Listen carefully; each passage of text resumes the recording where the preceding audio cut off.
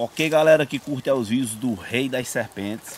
Galera, nós se encontrar aqui com a cobra corre-campo. Uma fêmea de corre-campo já bem adulta.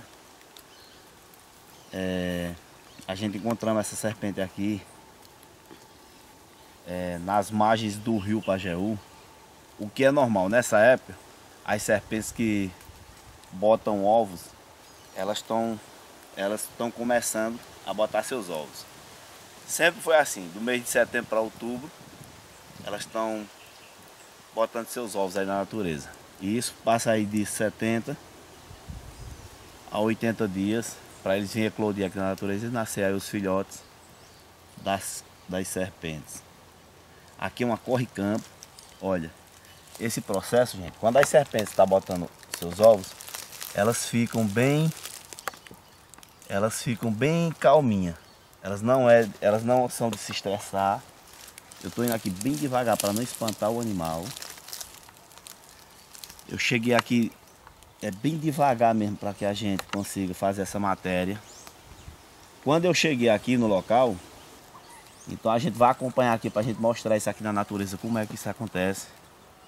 Também, o que eu achei estranho é o local que ela está botando é, esses ovos, porque certo que aqui é no tronco de uma árvore bem grande, aqui tem bastante sombra, ou seja, esse local aqui o sol não bate nesse local não, porque é coberto aí de, por sombra de árvores enormes, então eu acredito que depois que ela botar esses ovos, ela vai ela vai sim é, fazer um movimento com essas folhas, porque na maioria das vezes, gente, essa terra aqui ela é bem fofa, ó. Essa terra ela é fofa, ela, ela essas, essas folhas vai formando aí um, um solo bem fofo e aí é, é o local preferido pelas serpentes para botar sua ninhada, pra, porque na verdade elas não fazem a ninhada, elas colocam por debaixo das folhas. Essa daqui, devido ao tamanho, devido a ela ser muito grande, eu acredito que ela botou aí por cima das folhas. Mas isso é questão de, isso é questão de, de, de tempo para esses ovos estarem cobertos. Por quê? Porque até numa ventania forte os folhiços vêm para cima. Esse vento forte que está passando joga essas folhas para cima dos ovos e, daqui, e dentro de 24 horas esses ovos estão completamente cobertos por folhas. A serpente também pode fazer esse movimento, dando várias voltas aí, ó. Ela está ela tá se movimentando.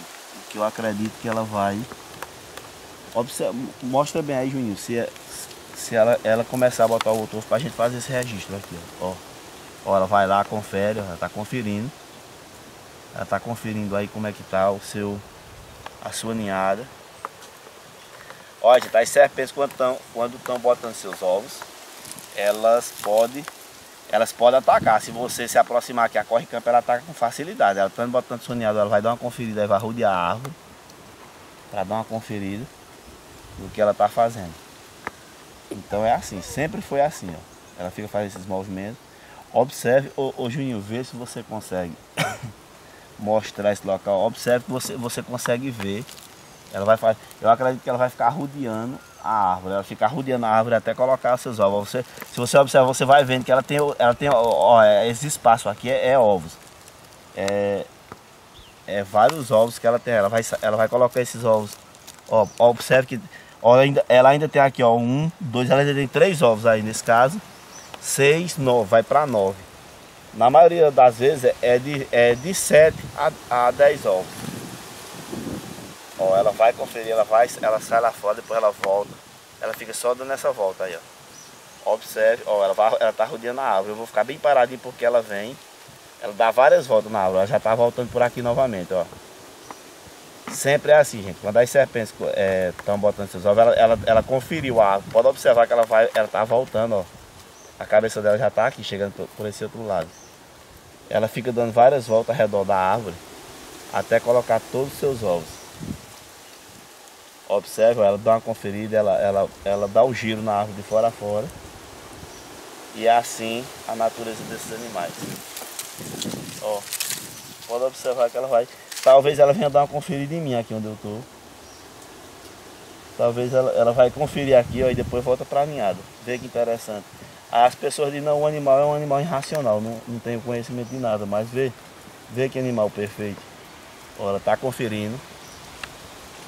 Ela dá uma volta conferindo, você pode ser, ela vai dar uma volta e vai voltar para o ninho. Na ninhada, dá aquela conferida, aí dá o giro, dá uma volta na árvore, aí vai bota um ovo. Depois o que dá se entender é que ela se distancia um pouco do ninho, dá uma volta por ali. Aí vem novamente até o ninho, põe outro ovo. E assim, no universo das serpentes. A gente por não ter aí um avanço na tecnologia, quer dizer, a tecnologia avançou, quem está atrasado sou eu. Eu não tenho equipamentos que, po que possam me dar suporte. É, onde acontece 90% das reproduções desses, desses répteis. Na maioria das vezes, essas serpentes elas botam ovos nas frestas de pedras e também dentro de buracos. Uns buracos bem, bem grandes, que aqui na região é, é feito pelo tatu. O tatu peba, ele fofa essa terra todinha, ele entra em vários buracos e ele escava buracos enormes. Então, as corre-campo sempre utilizam das tocas do tatu para colocar é, seus, seus ovos. Só que quando é o tatu-peba, se o tatu-peba estiver presente no, no local, ela perde a ninhada, porque ele se alimenta, ele come os ovos da cobra.